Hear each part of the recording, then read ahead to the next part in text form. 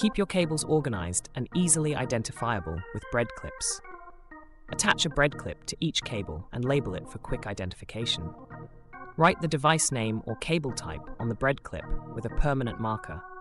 Avoid tangled messes in drawers or bags by staying organized. Know exactly which cable belongs to each device effortlessly. Save time and frustration by keeping your cables neatly labeled.